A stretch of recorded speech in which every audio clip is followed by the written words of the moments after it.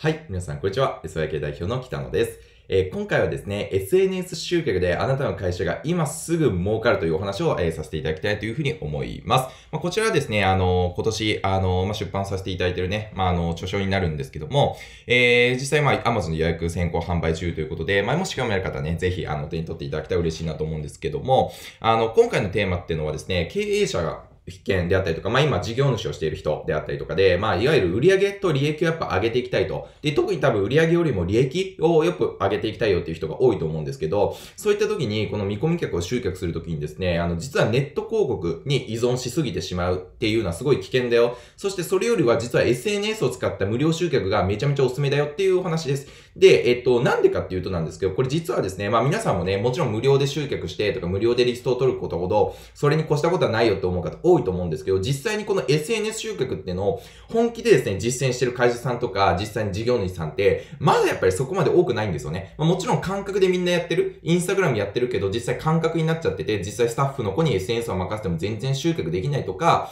えー、自分がなんとなくとりあえずアカウント作ってやったけど、全然リスト取れてないとか、みんなやっぱ感覚でやっちゃってる。で、結果的に成果出てないっていう人が多いんですけど、これちゃんとですね、まあ、うちはそもそも SNS マーケティングの会社なんで、SNS を正しくやり方でちゃんと手順に沿ってやるとどういうことが起こるかっていういうとですね、まあ、例えばうちの会社で例で言うと、売上のですね、えー、うちの、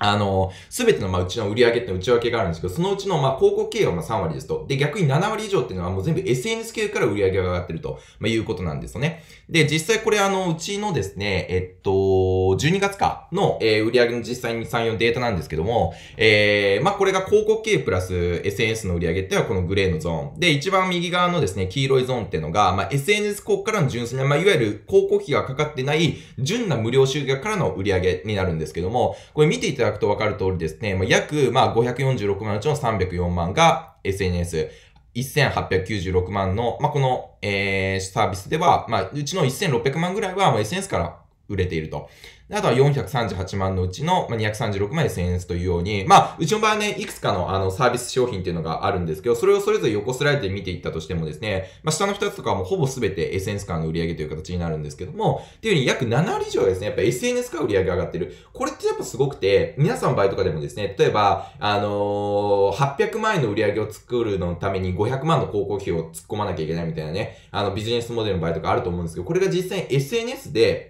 しっかりとですね、濃い見込みのお客様っていうのを集めて、そこから販売して売れるとなったらどうなるかっていうと、例えば、今まで500万円かけてやっとの思いで800万をひいひい言いながら作ってた人っていうのが、例えば、え、広告費が200万に抑えて、200万で800万の売り上げを作る。そしたら利益って600万円増えるわけなんですよね。今まで500万広告費かけて、えー、800万だったら利益300万じゃないですか。でも、それを広告費を200万に抑えて SNS を導入することによって、えー、実際200万の広告費で800万、利益600万、利益倍になるわけですよ。営業利益率2倍ですよ。会社のキャッツが2倍の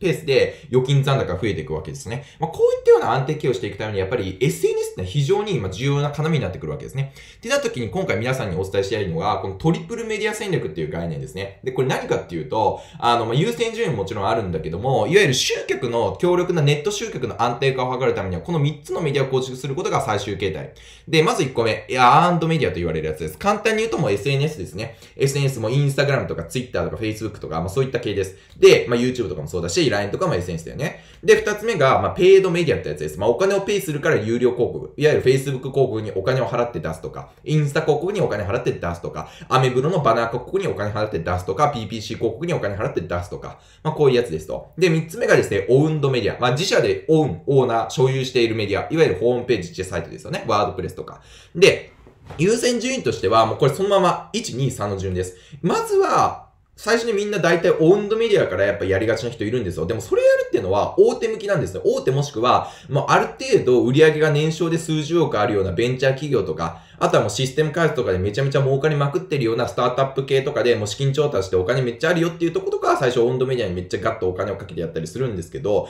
皆さんには例えば中小零細とかスモールビジネスをやっていて、これから年商1億以上目指していきたいという段階の場合とかであれば、あ、温度メディアもやっぱり時間がかかりますので、速攻性でキャッシュを作らないとやっぱ倒産になっちゃったりとか、キャッシュがなくなってきてしまう。そういうやっぱ恐ろしいことがありますので、速攻性でまず最初はファーストキャッシュを作って、資金作って、そのお金の一部を使って、後で温度メディアを育てていくっていうっていう順が安全です。そのためにまずやっぱ SNS でしっかりと見込み客リストを獲得するっていうのはすごい重要。で、それである程度、まあ、売上がまあ月にだいたい300万、400万ぐらい安定してきて、まあ、えー、ね、月賞でまあそうですね、5、600万ぐらいになってきた段階からまあ、ペイドメディアとか、まあ、有料広告に行って、で、広告でお金を使っていく。で、ここで重要なのが、SNS の次にまあ、安定してきたペイドメディアってことなんですけど、広告費もですね、売上に対してどれぐらいの広告費占めてるのかって、これすごい気をつけてほしくて、えー、やっぱり広告費ね、打てば打ていいだけ売り上げ上がるかっていうのはそうではなくて、広告打ったとしても、例えば60万円広告打って、そこから制約までの動線ってはちゃんとできてなかったりとか、営業の仕組み化できてなかったら、そこから売れませんでしたってなったら、60万円の赤字になっちゃうわけなんですよ。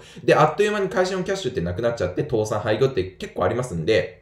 非常に危険なんですよね。だからこそ、ちゃんとネット広告をやる前にもしっかりと SNS で事前準備、ちゃんとリストが入ってきて売れる流れをちゃんと作った。100リストあれば最低でも3件は売れるとか、こういう基準作ってから広告をかけたら安全だよねって話になりますと。でそこから SNS とこの広告費の、えー、バランスを測りながら、えー、どれぐらい利益を残したいのかによって調整をしていくと。そして、そ、その段階である程度広告も安定してきた段階で、えー、温度目でも一応、ツバをつけておくと。で、やっぱ温度メディアを作るにはやっぱお金かかります、時間かかりますりますので、えー、まあ、優先順位としては3つ目という形になりますという判断ですね。はい。ということで、まあ、うちの会社も創業1年目でですね、まあ、年商1億達成した時っていうのは基本的に、えー、アーンドメディアとペイドしかやってなかったですね。で、まあ、2期目に入ってからちょっとずつ温度メディアを育てていって、で、まあ、あの、今、累計で何百記事っていう感じで温度も育ててはいますけども、っていう優先順位でうちもやってますので、まあ、ぜひこのトリプルメディア戦略の概念、そして、えー、SNS の重要性というところですね、認識をしていただいて、よりね、これから SNS マーケティングを実践してほしいなと思います。